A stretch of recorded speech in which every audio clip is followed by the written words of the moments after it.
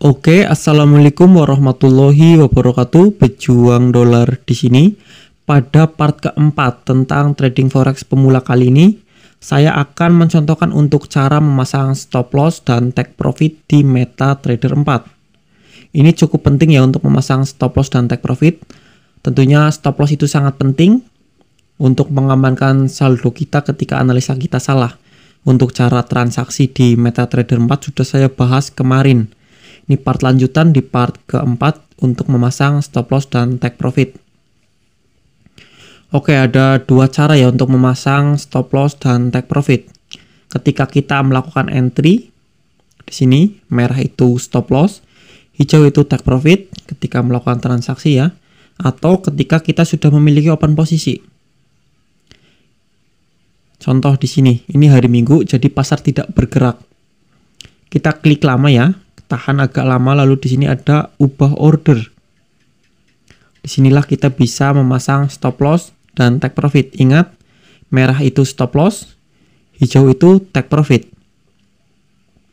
Oke lanjut, tentunya ketika ingin memasang stop loss ataupun take profit itu kita tentukan dulu di manakah kita ingin menaruh take profit dan stop loss itu di harga berapa. Contoh, karena saya memiliki open posisi di NCD ya. Saya contohkan, saya biasa menaruh stop loss dan take profit di support ataupun resisten. Hmm, karena ini itu tercipta yang namanya seperti ya, seperti rising wedge. Ini tuh rising wedge jadi ada potensi penurunan.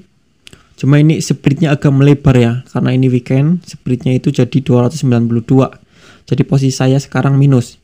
Nanti ketika hari Senin dan misal tidak ada gap ya, itu nanti akan berubah ke posisi profit.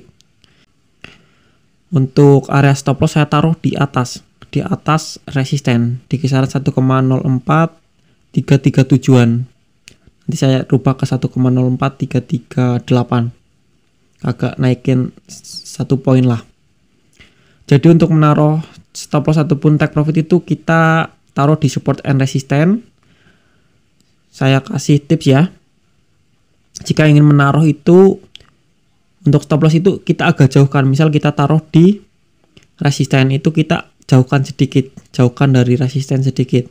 Itu untuk open sell ya. Jika kita open long ya kita jauhkan sedikit dari support. Nah, kita kasih jarak sedikit. Itu untuk menghindari kita uh, stop loss kita tertrigger lalu harga membalik.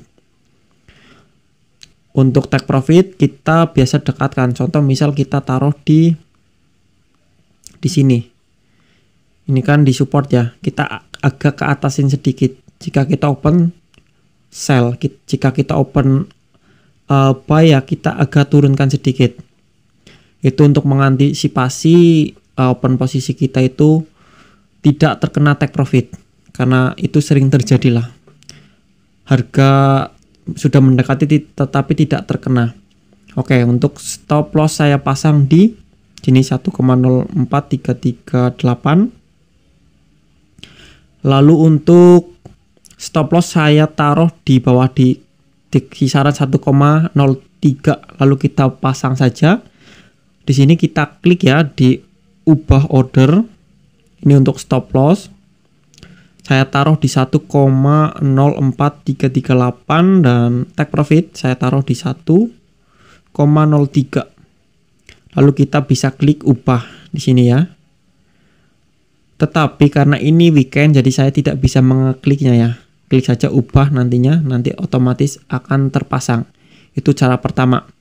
Cara kedua itu ketika kita ingin melakukan open posisi. Contoh di sini misal kita ingin buy limit kita taruh harganya sorry sell limit. Karena di sini saya ingin open sell harganya misal di 1,0 1,0413 misal. Lalu di sini kita taruh stop lossnya di tadi di 1,04338 take profit di 1,03 lalu kita bisa tempatkan. Nah dipastikan tidak bisa karena ini weekend pasar tutup besok buka ya besok hari Senin sekarang hari Minggu Jadi sangat mudah untuk memasang take profit dan stop loss ya. Tentunya kita bisa tentukan dulu harganya, lalu kita bisa pasang. Untuk stop loss itu sangat penting, sangat penting kita pasang dalam trading forex karena ini bisa mengamankan saldo dan tentunya bisa uh, mengatur keuangan kita. Biasanya jika kita ingin trading forex itu kita harus memiliki money management dan kita itu harus memiliki stop loss yang tetap. Misal kita memiliki 1000 dolar, kita ingin menaruh stop loss 20 dolar per trading. Jadi kita harus tentukan jaraknya nanti kita tentukan lotnya. Dan kebetulan untuk part selanjutnya saya ingin membahas tentang cara menentukan lot dalam trading karena ini cukup penting. Satu kesatuan dengan stop loss, setelah lot baru ke money management. Jadi ketika saya masuk ke materi tentang money management, kita sudah tahu tentang cara menentukan stop loss dan take profit. Uh, Oke, okay, mungkin cukup untuk part kali ini cukup singkat. Jika ada pertanyaan bisa tanyakan saja di kolom komentar. Pejuang dolar di sini. Wassalamualaikum warahmatullahi wabarakatuh.